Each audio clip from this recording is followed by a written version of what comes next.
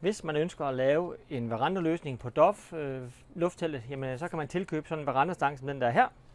Og den måde, man monterer den på, jamen, det er sådan set lige, at vi lige åbner gardinerne her en gang. Så ligger ruller vi lige dem for, for at skåne vinduet, når vi nu åbner lige om lidt i verandaen.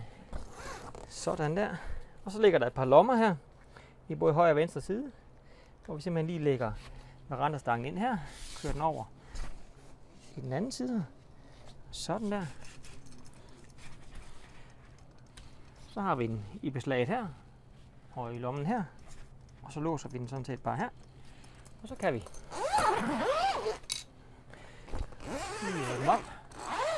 Sådan her. Holder vi den lige op. Og så lægger vi den lige så fint ned her.